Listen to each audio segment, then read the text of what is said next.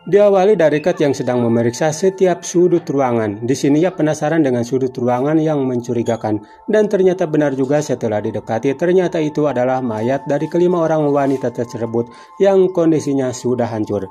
Di sini Serif mempunyai pendapat bahwa mayat ini mati karena penyembelihan dan Sarah adalah sebagai pelaku utamanya. Tentu saja Sarah tidak menerima hal itu, tapi tidak semua tim sependapat dengan apa yang dikatakan Serif itu dan sebagai pimpinan mengatakan bahwa Sarah adalah korban, bukanlah tersangka seperti apa yang dikatakan Syarif.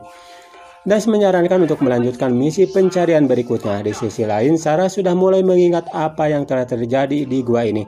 Karena itu, ia mulai bisa mengatakan bahwa di sini ada makhluk mengerikan dan makhluk itu sedang mengintai dirinya.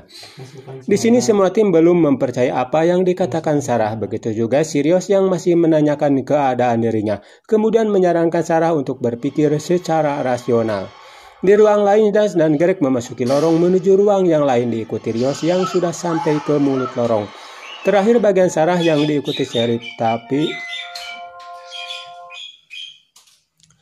Terakhir bagian Sarah yang diikuti Sheriff, tapi saat di tengah lorong, Sarah malah berhenti karena teringat dengan kejadian dirinya di lorong ini waktu dikejar oleh makhluk-makhluk itu. Tentu saja di belakang Serif memarahi Sarah yang akhirnya Sarah menendang bagian kepala Serif dan Sarah pun bergegas keluar dari rong sempit tersebut.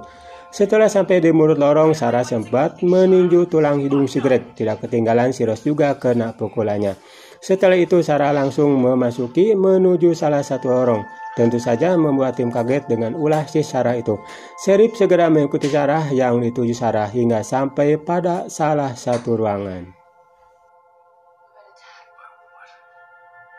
out here playing tricks on me.